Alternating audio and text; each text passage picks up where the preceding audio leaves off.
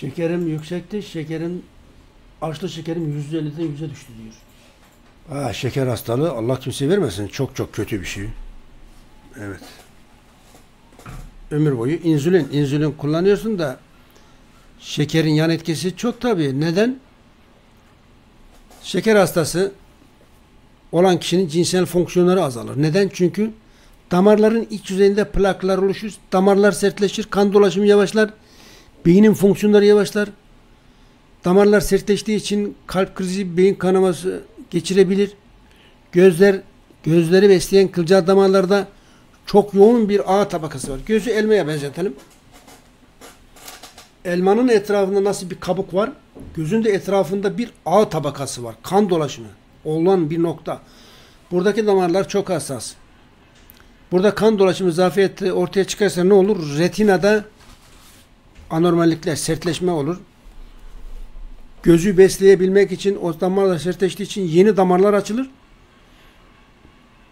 Açılan yeni damarlar orijinal damar gibi olmadığı için çok zayıf olduğu için her an kanama olabilir. Retinada oluşan bu yeni damarlar, e, damarlar çok zayıf olduğu için orijinal damar gibi olmadığı için her an kanamaya müsaittir. Göz kanamaları olur. Bu da zamanla birçok rahatsızlığı tetikler. Sarı noktaydı, makula vesaire vesaire. İşte bu nedenle şeker hastalığı olan kişi, şeker birçok hastalığı tetikliyor. Başta cinsel yetersizlikler vesaire vesaire vesaire. Ha var mı bunun çaresi? Demek ki varmış. Bu arkadaşımız ne diyor? Şekerim düştü. 150'den 110'a. O da kaç günlük kullanmakta düştü. Mesela Fenerbahçeliler kulübünde bir beyefendi var. Mehmet Bey hep söylerim. Çok enteresan bir olay olduğu için söylüyorum. Şekeri 450'den aşağı düşmüyor. Diyabet hapları kullandığı halde. Doktora demiş ki en son insülin iğnesi vurulacaksın. Çıkış yok, kaçış yok. O da demiş ki cinselliğin biter. Performansın düşer. Şu şu zararı var. Yapacak bir şey yok demiş. Bununla yaşayacaksın. İnternetten uyuyamamış sabaha kadar. Beni araştırmış, bulmuş. Dedi ki gerçekten faydası var mı? Var. E gönder bir bakayım. Gönderdik. Tamam okey kullandı. 6 hafta sonra ya dedi çok iyiyim. Hapı azalttım. Doktora gitmiş. iyi azalt yarıya yarıya. 3 ay sonra iyileşmiş. E bırakabilir miyim? Doktora demiş bırak. 4 ay sonra adam tamamen kendine gelmiş. Dedi ki ya ben seninle sohbet etmek için oraya geleceğim. İyi buyur gel dedim. Buraya gelmeden önce burada karşıda dondurmacı var. Oraya gitmiş. Yarım kilo dondurma yemiş. Yarım kilo. Sonra eczaneye gitmiş. Efendim kanına baktırmış. Aa, kan şekeri güzel. Hiçbir şey yok. Anormallik yok. Geldi bana dedi ki ya Gökçek sen muhteşem bir insansın. Ver elini öpeyim. Yok dedim o el öpmek yok. Allah senden razı olsun. Sana minnettarım. Ne oldu? Yarım kilo şeker şey dondurma yedim şekerim yükselmedi. Var mı böyle bir şey?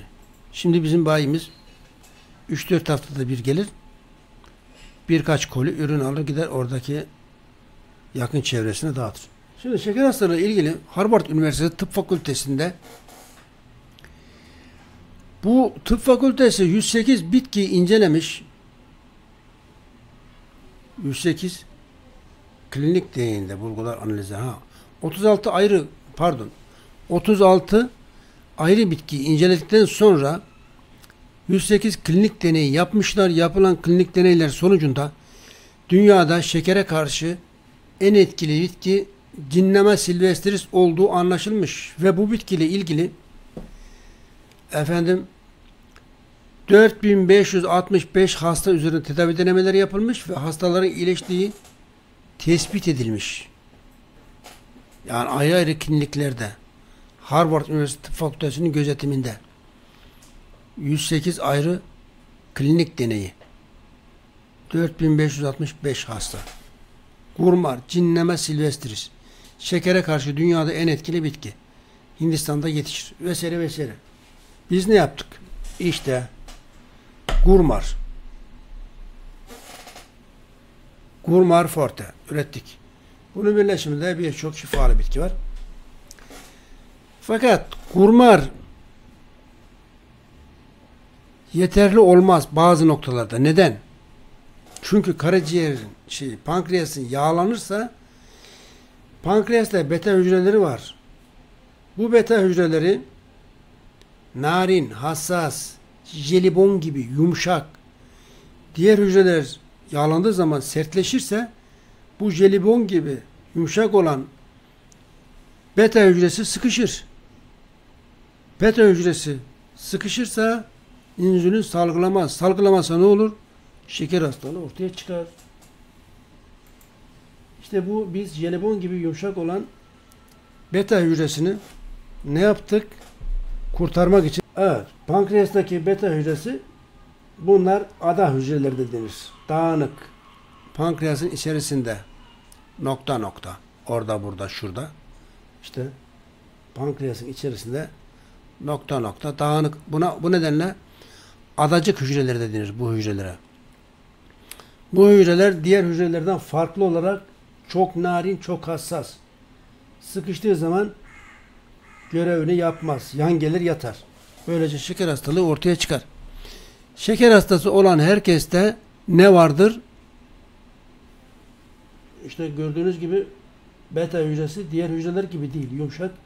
Ortalarda arada bir böyle bulunur. Pankreasın salgılamış olduğu 1 litreye yakın lipazamilaz, tripsin gibi enzimlerin yanında insülin sadece yüzde ikidir. Yani pankreasın birçok görevi var. Sadece beta hücreleri yapmış olduğu iş sadece insülin sağlamak.